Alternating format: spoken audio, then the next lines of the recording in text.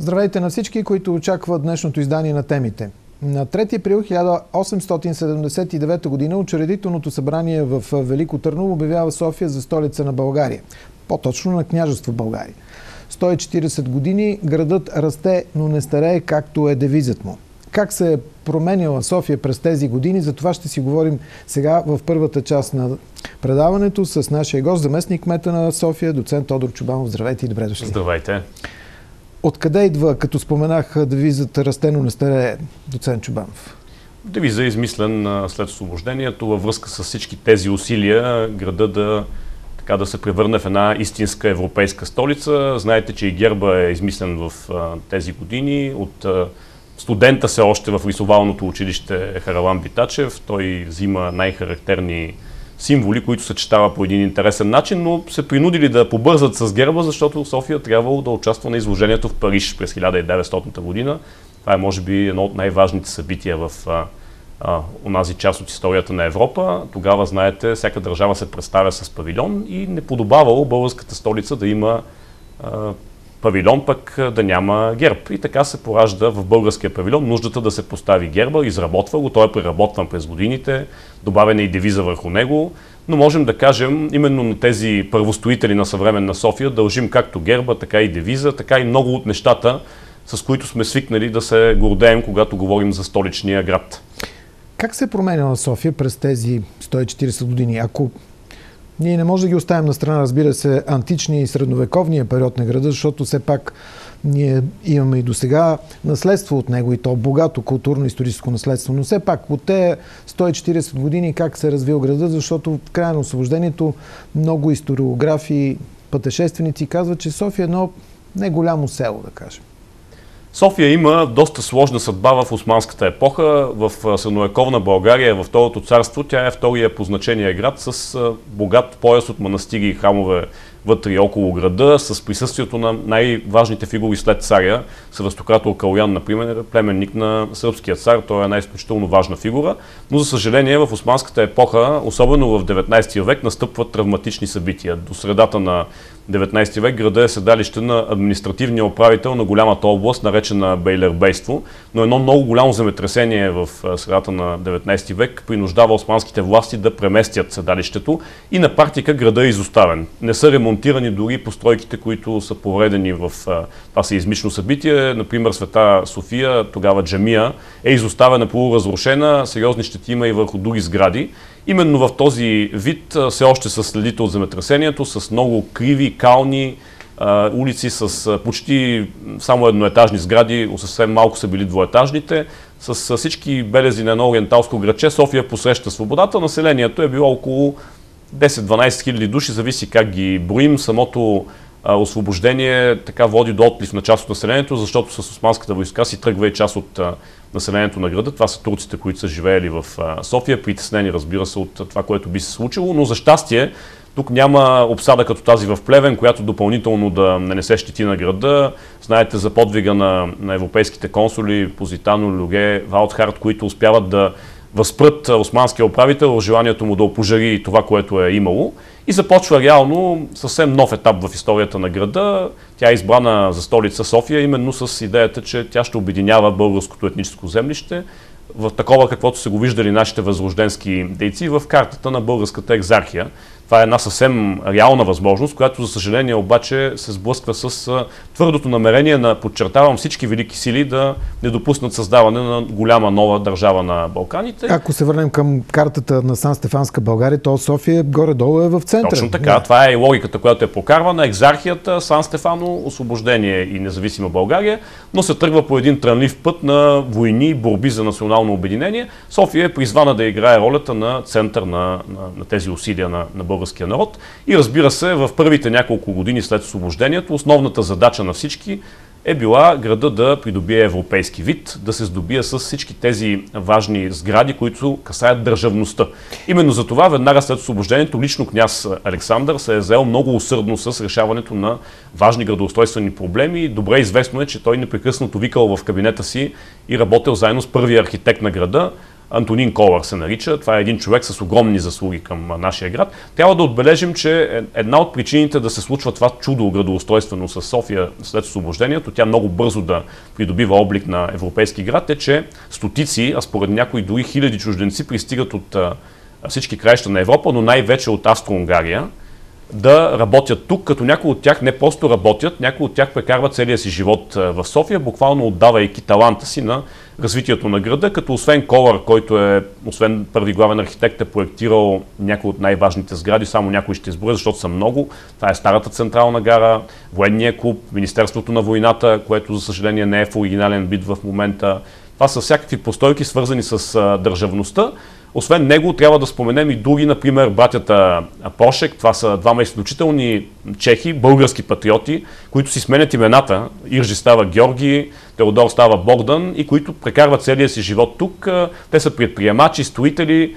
Колър, например, проектира паметника на Лески. Те го строят. строят също първата бирена фабрика в София, първата печатница, хора с невероятен творчески заряд и устрем които умират и тримата млади на 40-50 години, просто защото това са хора, които са се раздали буквално за изграждането на Нова София. Все пак да кажем, че наистина без чужда помощ София не придобива този европейски вид, но все пак трябва да има и българска воля. Кои са личностите, кметовете, които остават своя отпечатък? Действително, централна роля в изграждането на Нова София след освобождението имат градските управници и централната власт, и княз Александър, и Фердинанд, и цар Борис III системно се занимават с проблемите на столицата. Това е била една от тяхните важни задачи. Всеки държавен глава е бил призван да се грижи за подобренията в града но и кметовете, които в дълъг период от българската история са се назначавали, не са се избирали както днес с преки избори. Кметовете са действително забележителни личности. Няма да има време да изброим всички, но ще кажем за някои от най-важните. Трима-четирима, няколко имена, без които София въобще нямаше да е това, което имаме днес. Най-известният Иван Иванов. Започваме с Иван Иванов е така финала на Финал. тази дълга и успешна поредица. Може би от ранните кметове. Само искам да спомена, че двама от ранните кметове, например, са участници в революционния комитет на Левски Софийския, а пък Иржи Пошек е бил саратник на апостола, участва в руско-турската война, като е саботирал придвижването на османски войски по барон Хиршевата железница. Така че някои от революционните дейци след това се включват активно в строителството на Нова София, но първият кмет, който искам специално да изведа като акцент, това е кмета Петков, който прави наистина много сериозни усилия за какво? Да се изправят улиците, да се трасират площадите, да се благоустрои, да се положи началото на същинското европейско модерно благоустрояване. Неговия екип не успява да завърши тази задача, но той започва като кмет да подготвя електрификацията на града, да подготвя релсовия транспорт, въобще да, да въведе тези неща, които правят София по-късно малката Виена. След това става министър-председател, като такъв също полага големи усилия за разхубавяването на, на града и знаем, разбира се, и за трагичната му гибел. Една от градските легенди е свързана с това, че когато се налага да а, изправя Мария Луиза, това е един от централните булеварди в днешния ни град, трябва да се премахнат няколко постойки. Една от тях е Маничка църква. Нейните руини днес могат да се видят. Ние ги разкопахме при работата по Ларгото и тя е представена в една от зоните на комплекса. Една от градските легенди е, че религиозни а, жени, които са помагали в църквата, го проклинат. Но това разбира се е градска легенда. Неговия успех като кмет е несъмнен. Аз и той остава че... в историята на града като кмета, който е дал големия силен старт на градското развитие. Аз си мисля, че имаше един а, пример някъде бях чел, когато правят Мария Луиза за ширината на булеварда са наредили 12 фаитона един до друг. Действително, да. на тогавашните софиянци им се е виждало разточително да. широк булевард, но вижте, в онази епоха имало много противоречиви гледни точки. Само няколко примера. Имало е не на шега желание у някои софиянци да съборят знакови сгради като Света София, храма кръстител на града, която минавала за рушевина, за руина, за Боянската ами, църква. За боеприпаси, доколко си спомням. Най-различни функции. Да. Не. Първо по едно време наблюдателница на пожарната, отпред се е провеждал пазара за добитък, всякакви функции, но всъщност това си е била една изключително ценна антична и средновековна сграда, за която живеещите казвали защо да не я съборим да си построим нова. Същите мераци е имало и по отношение на Боянската църква. Тя им се е виждала малка, схлупена. Така че софианци, някои от тях в онази епоха са имали така, различни гледни точки. Всички са чували вече, може би, за слатинските вълнения един швейцарец, Даниел Неф, започва да изгражда Борисовата градина и по времето на Стамбулов и след това започва нейното разширяване, което среща бурната съпротива на Слатинските шопи, като в началото на 20 век, 1903 година, си има истинска престрелка, бунт с двама убити и 20 на ранени, след като въпросните жители на село Слатина си направили редут в парка, набили общинските служители, набили и полицията, пристигнал конен ескадрон, пристигнала войската, за да се разправи с тях. Така че били са много трудни времена, именно затова трябва да оценим високо всички успехи на тогавашните кметове да се справят с един или с друг проблем. И, например, такъв кмет е брата на първия ректор на Софийския университет, академик Теодоров Балан. Неговия брат Мартин Теодоров е един от успешните кметове на София. На него дължим любимия на всички културен елемент в центъра на българската столица – жълтите павета. Противно на легендите за сватбата на, на княз, по-късно цар Фердинанд, те са си купени от местната власт много сериозен заем. Заем, който е било предвидено да се връща 50 години, но благодарение на успешната работа на един друг кмет Иван Иванов, заема е успешно изплатен в края на 30-те години. Така че благодарение на, на този заем и на работата на, на кмета Теодоров започва павирането на градския център. То продължава най-активно при кмета генерал Владимир Вазов, който управлява около 6 години между 26 и 32 и разбира се при кмета Иван Иванов. Генерал Вазов е известен главно като военен герой, като изключителен командир, с невероятни постижения. Знаете, че той е легенда в българската войска, завоя на Черна, знаете Дойран. за Дойранската епопея, да. но той е един от най-успешните кметове на българската столица. Например, по негово време са десетки километри релсов път са прокарани, павирани са много улици, въобще полагат се големи усилия. Негов служител е Иван Иванов. Иван Иванов прекарва, да прекарва в общината почти целия си професионален път и всъщност по времето, когато генерал Владимир Вазов е кмет, Иван Иванов ръководи прокарването на Рилския водопровод, един от големите успехи на градската оправа. За мен лично е много важен генерал Владимир Вазов, защото той е и създателя на столичната култура. През 28 година създава де-факто днешните Софийска градска галерия, Софийска библиотека, музей за София и Софийски архив. Т.е. той е бащата на културните институции на българската столица. Бил е човек с а, много просветителско мислене, именно за това неговото управление е белязано от толкова големи успехи. Разбира се, той има уникалния шанс да е наследен от друг много талантлив кмет, най-дълго управлявалия кмет в историята на София, Иван Иванов, който продължава успешната работа на генерал Вазов. При него за първи път общината стабилизира своите финанси. Тя до тогава е зависела до голяма степен от прищевките на централната власт. Не винаги тя е била в синхрон с местната, имало е периоди на политически турбуленции, но да кажем, при 30-те години Иван Иванов се радва на огромната подкрепа на цар Борис III. Той е така наричан десетия министър. Той е фигура с огромно доверие и по тази причина той успява през 30-те години да реши редица градоустройствени въпроси, да развива София. По това време тя е наричана Малката Виена. През...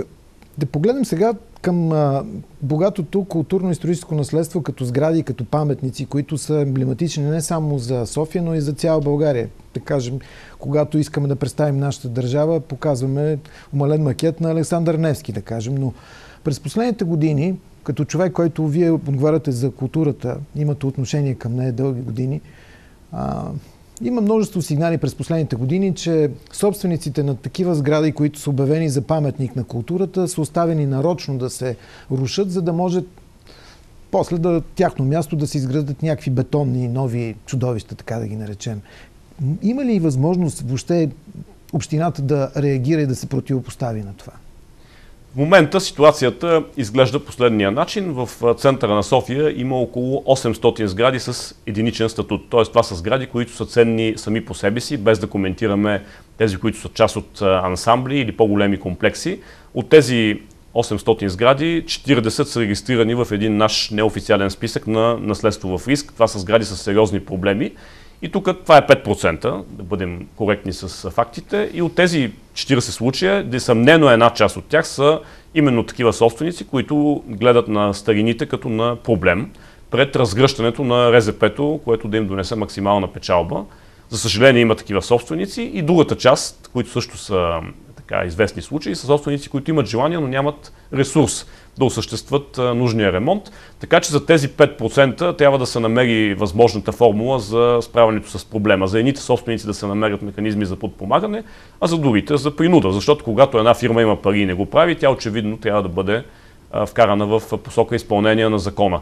За съжаление, независимо от промените, които бяха направени в последните години, местните власти в България, тук не става дума само за София, има далеч по-сериозни ситуации в страната, защото просто хората имат по-малко възможности там.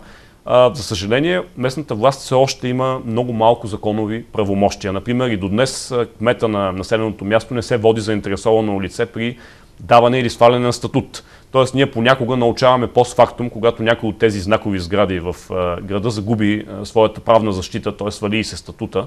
Именно затова ние сме много активни и сме дали за повече от 10 сгради предложения в Министерството на културата за връщане или даване на статут, включително и на шумелия случай с царските конюшни. Това е един от най-важните обекти в центъра на София. Там общината инвестира немалко свои пари, за да спаси обекта и убеден съм там се върви по един правилен сценарий, но ето това е един от тези знакови обекти, които просто нямаха защита, нямаха статут. Е, Можем би... да кажем, че се наблюдава и подобрение в поведението на много от собствениците, защото само в последните няколко години в трите най-централни района на София има около 120 успешни реставрации, т.е. 120 собственици са ремонтирали успешно своите обекти, така че като цяло ситуацията се подобрява, има какво да се желая, има няколко знакови обекта, които трябва да бъдат спасени, но ето тук е ролята на медиите, на цялото общество, да убедим с всички сили и средства собствениците на тези обекти, които имат финансовата възможност, част по-скоро да пристъпят към тяхната реставрация и нужната поддръжка. И като последен въпрос, може би една минутка до края имаме нашия разговор. Как ще се развива града в следващите години? Защото аз поставих много въпроси, но в крайна сметка имаме да решаваме транспортната инфраструктура, екологията, чистотата на въздуха, застрояването, какво ли не. Мога да кажа, че фактора, който най-много променя София в последните години, един ден това ще пише в историята като най-значим успех през а, тези десетина години, това е бурното и много успешно развитие на столичното метро. Метрото е най-важната транспортна система в града, като стотици хиляди хора всеки ден го използват. С пускането тази година на първите части от третия диаметър, буквално всеки втори софиянец ще ходи където ходи с метрото и това променя и качеството на живот. Това намалява задръстванията, намалява вредните емисии, пести време на софиянци и смятам, че именно тук трябва да се постави акцента в успешното развитие на тази система и обвързването и с други системи. Например, знаете, че една от средносрочните цели на общината е да има метростанция до Симеонския лифт, така че човек като иска да ходи на планина, да не се налага въобще да използва личния си автомобил, слиза от метрото и се качва на Лифта, знаете, че ние сме един от малкото градове в Източна Европа с в момента пълна интермодалност. Какво ще рече това? От метрото може да отидеш на летището, на ЖП гарата, на автогарата. Именно в тази посока виждам един много голям успех на града и самия град се нагажда към тази политика, като там, където има метро, се появяват нови квартали, нови общности, това насърчава инвестиционния процес. Основното усилие, например, в следващите години ще бъде да убедим тези около 100 000 домакинства, които са в столична община и са на твърдо гориво, да преминат на по екологични форми на отопление през зимата, защото това е преди всичко социален въпрос. Общината се подготвя с много сериозни проекти да замени на голяма част от тези домакинства, които нямат финансова възможност да замени техните отоплителни инсталации с по-екологични. Това е практика навсякъде по света или да работи за предоставяне на филтри, така че твърдите частици в атмосферата да намалеят. Истината е, че около 20 до 40 дена през годината в София има проблеми. Това са основно дните с, мъгла. С, с мъгла, с студ, когато печките работят с твърдо гориво. Това е основният фактор и разбира се, дизела също има а, своето участие, но една от политиките на общината е да убедим гражданството да всячески да направим всичко възможно и да подкрепим промяната на този модел на отопление, така че повече хора да се отопляват с екологични способи. Подготвяме инсталация за производство на пелети. Искрено се надявам това да стане факт в следващите няколко години. Така че София е един много динамично развиващ се град с много богат културен живот. Може би на Балканите сме един от градовете с най-богат и най-интересен културен живот, с стотици знакови събития, с много модерно образование, особено в средното образование. Града е на европейско ниво един от градовете с най-силно средно образование. Разбира се, има какво да се желая, но тук има училища, които са посочвани като възможно най-добрите, например Софийската математическа гимназия е дадена от Оксфордския университет като референтна за обучението в математика на, е. имаме, на целия континент. Имаме успехи, но имаме и проблеми, които има да решават. Благодаря ви за... Не ни стига времето да говорим за София. Тя можем да кажем, че е предмет на десетки предавания, защото както имаме проблеми, така имаме успехи и трябва да си ги спомняме. Благодаря за тези а, а, реминисценции към миналото и за важните а, картини, които всеки един от нас трябва, когато чете историята, да си ги представя с тези хора, които са изградили нашия град. Благодаря ви още един път. Заместник мета доцент Тодор Чубанов, гост в тази първа част на темите. Така завършваме. Следват новините.